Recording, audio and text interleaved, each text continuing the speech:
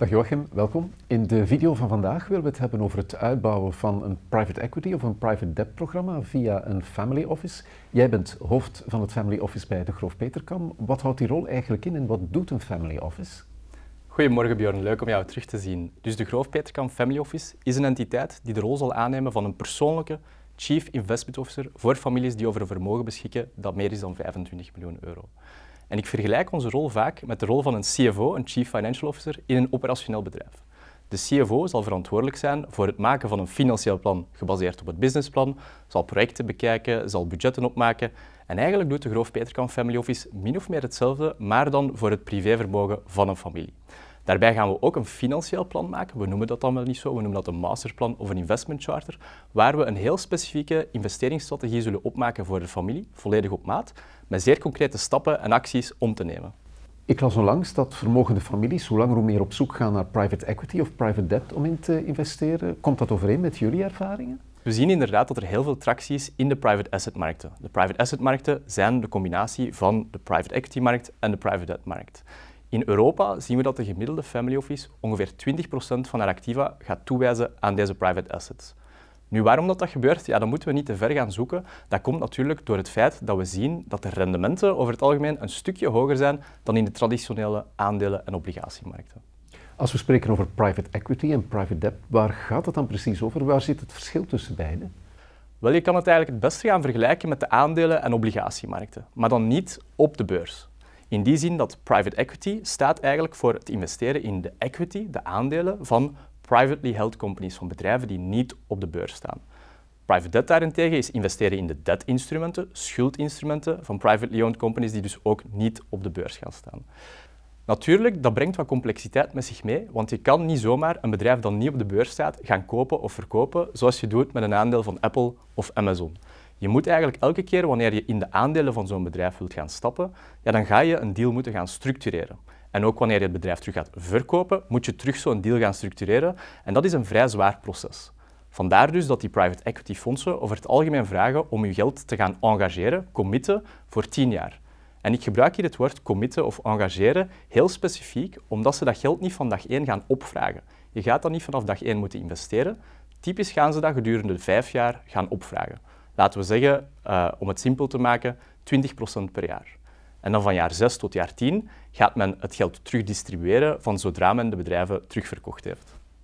Joachim, we spreken dus over investeringen toch op een iets langere termijn. Hoe kan een familie dat dan op een intelligente manier aanpakken, het uitbouwen van zo'n private asset programma?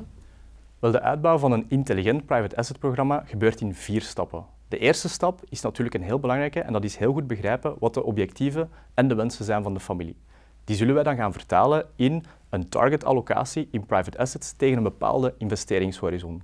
En dat is een functie van de wensen van de familie, de risicotolerantie en ook heel belangrijk de illiquiditeitstolerantie. Want we spreken hier over fondsen waar we voor tien jaar of soms zelfs langer in geëngageerd zijn. En de volgende fase is dan, één keer dat we te goed hebben begrepen waar we naartoe willen gaan, is gaan berekenen hoeveel commitments of engagementen we gaan moeten nemen per jaar om die target allocatie te gaan halen. Dat kan bijvoorbeeld zijn dat we voorstellen om bijvoorbeeld 5 miljoen euro aan commitments te nemen per jaar, verdeeld over de verschillende strategieën zoals buyout, secondaries, co-investments en private debt. Dat is eigenlijk de visie en de ambitie van de familie. Hoe vertaal je dat dan in concrete investeringen in de volgende fase? Wel een zeer goede vraag. En de derde stap is misschien wel de meest cruciale en meest onderschatte stap. Dat is het liquiditeitsmanagement. Want, zoals ik daarnet al zei, één private equity fonds gaat gedurende vijf jaar geld opvragen en van jaar 6 tot jaar 10 gaat men dat geld terug gaan distribueren. Bij private debt loopt het gelijkaardig, maar niet helemaal hetzelfde. Laten we daar even abstractie van nemen. Natuurlijk, dat is maar één fonds in isolatie. En als we gaan engagementen aangaan in verschillende fondsen in verschillende jaren, ja, dan ga je de nood hebben aan een geconsolideerde cashflow-prognose. En het resultaat daarvan kan bijvoorbeeld zijn dat we zeggen, oké, op basis van alle engagementen die u heeft aangenomen, gaan we voorspellen dat in jaar 1 1 miljoen euro zal opgevraagd worden, in jaar 2 2 miljoen, in jaar 3 3 miljoen en zo verder enzovoort. En dan hebben we nog de laatste fase, de vierde fase, die ook van essentieel belang is, en dat is de keuze van de fondsen. En het is heel belangrijk om hier op voorhand goed je huiswerk te gaan doen, want één keer dat je in zo'n fonds stapt, ben je geëngageerd voor 10 jaar. Vandaar dat we naar managers gaan zoeken die hebben bewezen dat ze een goede track record hebben, die bewezen hebben dat zij dus doorheen de verschillende economische cycli een goed rendement laten optekenen. En we zien in private assets over het algemeen dat het rendementsverschil tussen een goed fonds en een gemiddeld fonds best wel hoog is. Dus selectie van fondsen is echt key. Het is een proces dat veel tijd vergt, dat goed voorbereid moet worden. Je hebt het zelf nog gezegd, maar jullie, de Groof Peterkamp Family Office, jullie zijn er om de klanten daarin bij te staan. Absoluut, Bjorn. Dus wat we altijd doen om te starten, is een workshop gaan organiseren om de concepten en practicalia rond private assets goed uit te leggen, want we willen dat investeerders goed begrijpen waarin ze stappen voor ze erin stappen. En één keer dat we dat goed hebben uitgelegd, gaan we wat tijd nemen om stil te staan bij de objectieve inwensen, die we dan gaan vertalen in een target allocatie.